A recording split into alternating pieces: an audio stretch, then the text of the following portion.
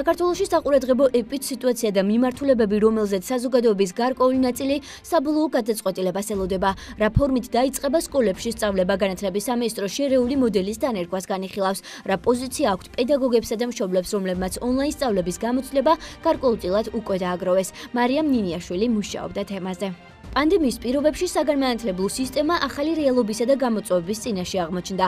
სასწავლო პროცესი დისტანციური სწავლებით ჩანაცვლდა. ერთ-ერთი მოდელი, რომელიც სამომავლოდ განიხილება, შერეული ორი მეთოდის დაბალანსებულად გამოყენებას გულისხმობს, რაც როგორც ონლაინ სწავლებას, ისე საკლასო სწავლებას ითვალისწინებს.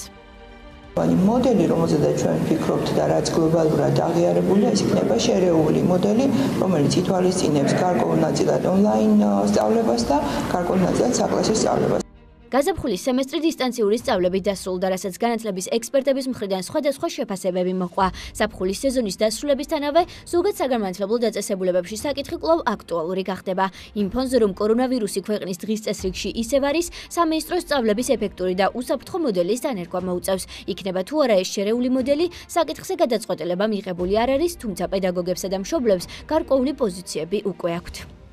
ჩვენ ისეთი რთული გამოწვევის წინაშე დავდექით ამ რამდენიმე თვის წინ და ისე ღირსეულად უპასუხეთ ამ გამოწვევას ონლაინ სწავლებას გულისხმობ, რომ უკვე აღარაფერი არც გვაშინებს და არც გვაფიქრებს. მხოლოდ დადებითი გავლენა მოახდინა განათლების ხარისხზე ონლაინ სწავლებამ. აი მისაღები იქნება. თავარია სიტუაციიდან გამომდინარე როგორ გადაწყვეტილებას მიიღებს სკოლა. სკოლა მუშაობს ორივე მოდელზე, ორივე ვარიანტზე და რომელსაც აირჩევენ, აბსოლუტურად მისაღები იქნება ერთიც და მეორე. მე ტექნიკური საგნის მასწავლებელი ვარ, ნუ მეტი გზა თუ არ იქნება, უნდა მივიღო ეს მოდელი, იმიტომ რომ ბავშვები მაინც მათემატიკა ესეთი საგანია, რომ თუ არ აქვს შეხება უშუალოდ ბავშვთან, დაფა და ცარცი თუ ყოველდღარ არის ჩართული საგაკეთებლო პროცესში, ცოტა ბავშვს უჭით გაგება დამოუკიდებლად. მაგრამ ახლა მეთოდები შევცვალოთ, ისე რომ ჩვენ უკვე ვიყოთ უკვე არამთლად წამყვანები, უკვე დამკრებლები ვიყოთ, ბავშვმა ისწავლონ დამოუკიდებლად აზროვნება და ჩვენ ცოტა დავეხმაროთ.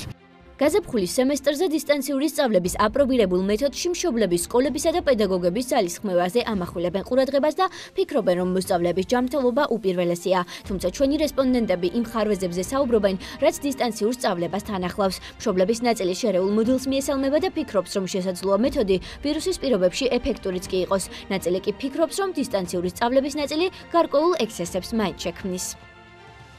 ის მოდელი, რომელსაც ჩვენ ამ წუთში განვიხილავთ, შერეული მოდელი, მე ვფიქრობ, იქნება საუკეთესო გამოსავალი, აუცილებელი იქნება აქ ასაკობრივი ჯგუფების გათვალისწინება. მე ვარ სამი შვილის დედა. ჩემთვის, როგორც სამი შვილის დედისთვის, რომელსაც სამივე შვილს სჭირდება დისტანციური რეჟიმი, არის ძალიან რთული, მაგრამ უფროსი, რომელიც არის მე-11 კლასში, მისთვის ბევრად მარტივია დისტანციური რეჟიმით მართვა სწავლის, ვიდრე მეორე კლასელისთვის, რომელსაც აუცილებელია მისთვის მას მასწავლებელთან კონტაქტი, შეხება და შესაბამისად ეს მოდელი, რომელსაც ამ წუთში ჩვენ ვსაუბრობთ, იქნება საუკეთესო გამოსავალი. ინტენსიურ სწავლებას ახლავს ძალიან ბევრი მინუსი. რის წინაშე დავდექით ჩვენს მშობლების, მასწავლებლებისა და ბავშვების. კომუნიკაციის არ ქონა, პირდაპირ კომუნიკაციის არ ქონა. ძალიან უარყოფით გავლენას ახდენს ბავშვებზე სწავლის პროცესზე. ამასთანავე არის ძალიან ბევრი ტექნიკური ხარვეზი.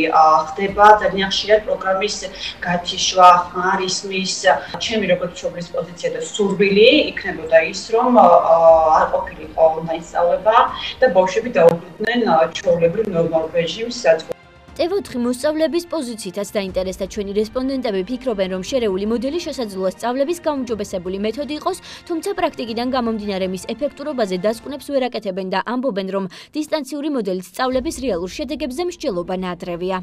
არსებულ სიტუაციაში მე უკვე აბიტურიენტი ვარ და ჩემთვის როგორც აბიტურიენტისთვის ცოტა არ იყოს დისკომფორტია დისტანციური სწავლება, რადგან მოსწავლესა და მასწავლებლის შორის ცოცხლად ურთიერთობას და ცოცხალ სასწავლო პროცესს არანაირი ალტერნატივა არ გააჩნია. განვლილ დისტანციური სწავლების პროცესში რაღაც ლაფსუსები კი ჰქონდა ამ მექანიზმს, მაგრამ საერთო ჯამში ვფიქრობ ამ ალტერნატივამ თავისი შედეგები გამოიღო და ეფექტურიც იყო. ჩხენკელის უწყება ეპიდემიოლოგიური ვითარების საფუძველზე სწავლის დაწყებას სექტემბერში არ გამორიცხავს. 17 ივლისს განათლების მინისტრის მოადგილემ ეკად გებუაძემ განაცხადა, რომ უწყება ჯანდაცვის სამინისტროსა და დაავადებათა კონტროლის ცენტრთან მუდმივ კოორდინაციაშია და საბოლოო გადაწყვეტილება სექტემბერში არსებულ ეპიდვითარებაზე იქნება დამოკიდებული.